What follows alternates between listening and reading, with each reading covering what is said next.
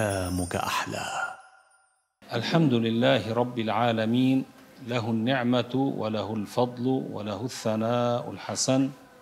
صلوات الله البر الرحيم والملائكة المقربين على سيدنا محمد وعلى آله وصحبه الطيبين الطاهرين الميامين. وبعد وصلنا إلى الكلام على ما يتعلق بالنفقة أحكام النفقة. قال شيخنا رحمه الله يجب على الموسر نفقة أصوله المعسرين أي الآباء والأمهات الفقراء وإن قدروا على الكسب. يعني يجب على الموسر يعني الذي عنده ما يزيد على نفقته. عليه الإنفاق على أصوله المعسرين يعني المعسرين يعني الفقراء كأي الآباء. وإن علوا يعني أبوه أو جده عليه أن ينفق عليه. إذا كان الأب فقيرا أو الجد فقيرا فعليه أن ينفق عليه. والأمهات كذلك. ينفق على والدته وعلى جدته وإن علوا. إذا كانوا فقراء حتى لو كان الأب آه هنا لنتنبه لو كان الأب قادرا على الكسب يعني قادرا على أن يعمل ويحصل حاجته نفقته. لكن الأب قال مثلا أنا لا أريد أن أعمل أنا خلص تقاعدت ما بدي أشتغل. هنا على ولده هو أن يعمل لينفق على أبيه. إذا لم يكن عنده مال يعني عليه أن ينفق على أبيه. لا يقول لأبيه أنت تستطيع أن تعمل اذهب اكتسب واعمل وحصل المال وأنفق على نفسك. لا يجوز حرام. فرض عليه أن ينفق على أبيه. هذا من بر الأب الواجب. وكذلك على أمه أن ينفق عليها. هذا إذا كانوا فقراء. أما إذا كانوا أغنياء عندهم ما يكفيهم هنا لا يجب عليه أن ينفق عليهم. كذلك يجب نفقة فروعه يعني يجب على الموسر الإنفاق على فروعه. ما معنى فروعه؟ يعني أولاده وأولاد أولاده يعني حتى الأحفاد. إذا كان الأب مثلا ليس ليس عنده مثلا متوفى لنقل فالجد ينفق على أولاد أولاده سواء كانوا ذكورا أو إناثا. إذا كانوا ماذا قال؟ إذا أعسروا. يعني إذا كانوا فقراء ليس عندهم مال قد يكون الوالد توفي وترك لهم تركة ينفق عليهم منها. عند ذلك ينفق عليهم من هذه التركة.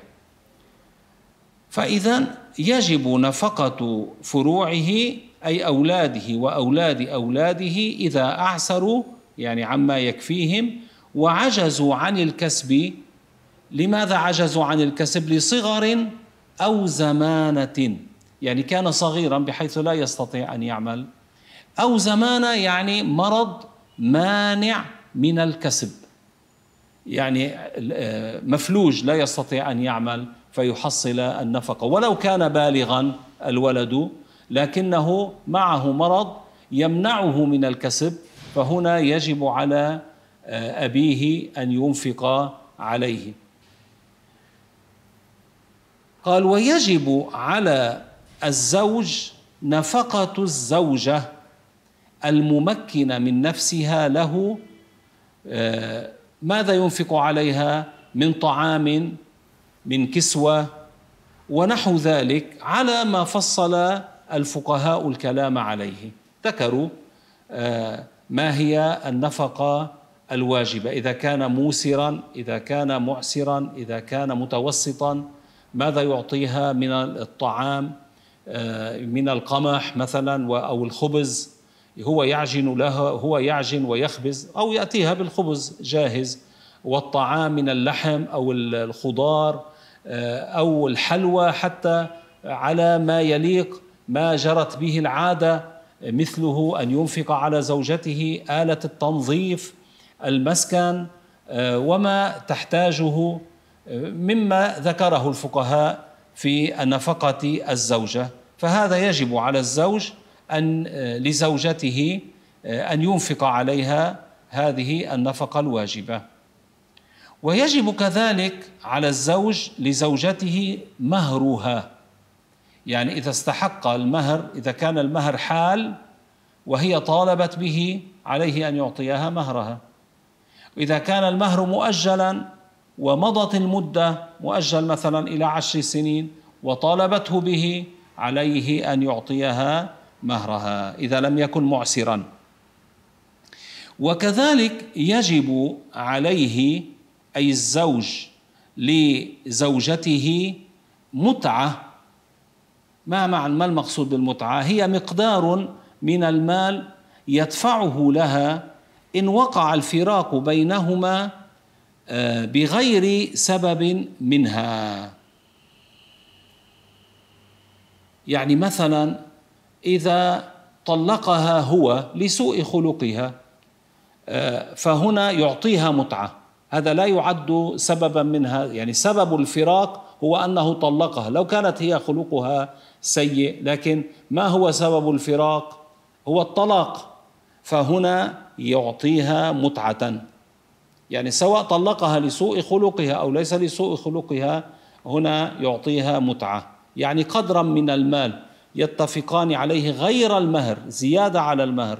فإن لم يتفقا القاضي يعين ما يعطيها. أما مثلا كيف يكون آه، الفراق بسبب منها وبالتالي لا يعطيها متعة؟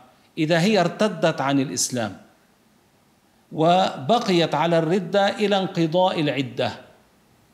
وقعت بالكفر سبت الله مثلا اعترضت على الله مثلا. فوقعت في الكفر آه، ولم ترجع إلى الإسلام حتى مضت العدة. هنا سبب الفراق من من؟ منها أو منه؟ منها. هي التي ارتدت ولم ترجع إلى الإسلام لأنه شرعا إذا ارتد آه، أحد الزوجين وقع في الردة فهنا في آه، ينتظر مدة العدة. إذا وفي مدة العدة لا يجامعها لا يقربها لأنه آه، على الردة مثلا إذا هو أو هي. فإذا رجع إلى الإسلام في مدة العدة ما زالت زوجة له. إذا لم ترجع إلى الإسلام هي التي ارتدت أو هو إذا كان هو ارتد. المرتد لم يرجع إلى الإسلام حتى مضت العدة. علم أن العقد قد انفسخ. حصل الفراق. طيب إذا كان هي التي ارتدت ومضت العدة فهذا الفراق بسبب من؟ بسببها. فإذا آه، بما أن الفراق هو بسببها فهنا لا يجب لها المتعة. يعني لا تقول له هي أنا أريد المتعة يعني قدر من المال. غير المهر لا يجب عليه أن يعطيها المتعة. كذلك إذا كان عنده آه، أرقاء عبيد مملوكين أو بهائم آه، فنفقتهم عليه عليه أن ينفق عليهم من إطعام وكسوة ونحو ذلك. وأن لا يكلفهم من العمل ما لا يطيقونه. وأن لا يضربهم بغير حق. آه لا يجوز أن يضربهم بغير حق. الرق في الإسلام غيره عند عند غير المسلمين. عند المسلمين كثير ممن كانوا في زمن الصحابة كانوا أرقاء عند الصحابة صاروا علماء وأعتقهم الصحابة وصار يرجع إليهم الخلفاء يسألونهم المسائل. سليمان بن عبد الملك الخليفة الأموي. مرة ذهب إلى طاووس. طاووس تلميذ عبد الله بن عباس رضي الله عنهما. طاووس كان عبدا مملوكا عند عبد الله بن عباس. فبما أنه عند عبد الله بن عباس وعبد الله بن عباس هو حبر هذه الأمة يعني عالم هذه الأمة من علماء أمة سيدنا محمد عليه الصلاة والسلام. انتفع طاووس من عبد الله بن عباس تعلم منه العلم وترقى بالعلم حتى صار إماما مجتهدا. يعني كيف الإمام الشافعي كيف الإمام آه، أبي أبو حنيفة؟ هكذا. يعني صار اماما مجتهدا حتى صار يقصد للمسائل. فمن أتاه؟ سليمان بن عبد الملك. الخليفة. وكان العلماء لهم هيبة في ذلك الوقت هيبة عظيمة. فسليمان بن عبد الملك الذي هو خليفة أتى يسأله وطاووس يعني أجابه آه، ولم يعني أجابه على هيئة معينة لنقل. فماذا قال سليمان لولده؟ قال له يا بني تعلم فوالله لا أنسى الذل الذي لقيته عند هذا العبد يعني على اعتبار ما كان عليه ف فانظروا كيف أنهم كانوا كانوا أرقاء لكن بعد ذلك صاروا إيش؟ صاروا علماء صاروا من أكابر العلماء بسبب أنهم كانوا أرقاء عند أمثال عبد الله بن عباس هؤلاء الصحابة الكرام. فإذا فرق بين الرق في الإسلام والرق عند غير المسلمين من حيث التعامل من حيث الفرض بالشرع. لا يجوز أن تضربه بغير حق. لا يجوز أن تجيعه. لا يجوز أن تتركه من غير أن تعطيه ما يحتاجه من النفقة ونحو ذلك. ويجب على الزوجة طاعته يعني طاعة زوجها في نفسها. يعني إذا طلبها للاستمتاع لا تمنعه من نفسها إذا لم تكن معذورة. آه، حتى لو طلب لها أن تتزين له وجب عليها أن تتزين له. وتعامله على ما يليق ما ينبغي فلا تمنعه من نفسها. حرام. إلا فيما لا يحل ما لا يجوز. فمثلا لا تطيعه إذا أراد آه، أن يطأها في حال الحيض وهي في حال الحيض والنفاس لا يجوز أن آه، تطيعه في ذلك. هي معذورة. وكذلك يجب عليها أن لا تصوم النفل وهو حاضر في البلد إلا بإذنه. الصيام إما أن يكون صيام فرض مثل رمضان أو صيام نفل. الفرض تصومه في وقته. أما النفل مثلا اثنين وخميس لنقل هو هي صائمة وهو طلبها للاستمتاع فأليس تقول له مثلا قد تقول له أنا صائمة فيحصل شيء؟ فلذلك لا تصوم النفل وهو حاضر يعني ليس مسافرا إلا بإذنه. كذلك لا تخرج من بيته لغير ضرورة إلا بإذنه. يعني لا تخرج من البيت بغير إذنه. إلا إذا كان هناك ضرورة. ضرورة كأن خشيت على نفسها من اللصوص آه، أو نحو ذلك.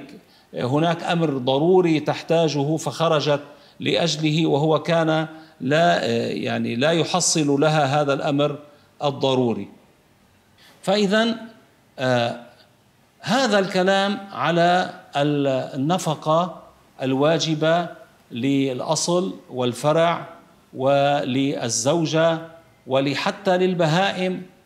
ف وهذا أمر لابد للمرء قبل أن يدخل فيه أن يتعلمه. قبل أن يتزوج يتعلم الأحكام حتى يعرف ماذا يجب عليه لأجل والديه لأجل أولاده يتعلم ما هي الأحكام. أسأل الله العلي القدير أن يفقهنا في الدين وأن يجعلنا من الذين يستمعون القول فيتبعون أحسنه. إنه على ما نسأله قدير. وسبحان الله والحمد لله رب العالمين. وصلى الله وسلم على سيدنا محمد